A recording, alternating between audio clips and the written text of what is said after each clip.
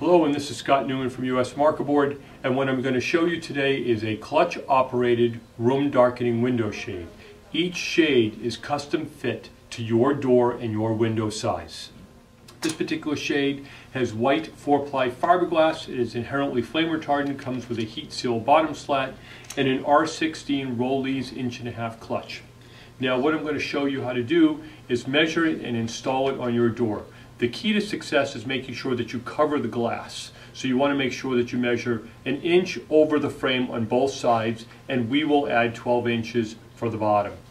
So what I'm going to do is I'm going to show you how to install it and we're going to have ourselves a door shade with a clutch operation on the right.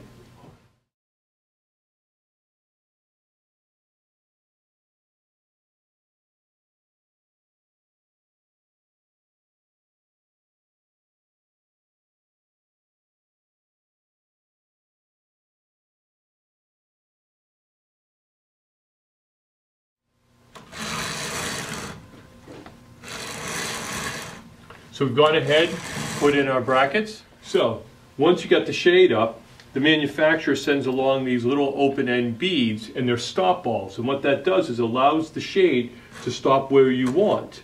So you grab the little ball in the front, wrap this around it, and use any standard pair of pliers to squeeze the ball tight. And what happens is that will stop the shade from going down any farther. You want to do that in the other direction as well, so when the ball comes up to the top, it will stop on its way up as well.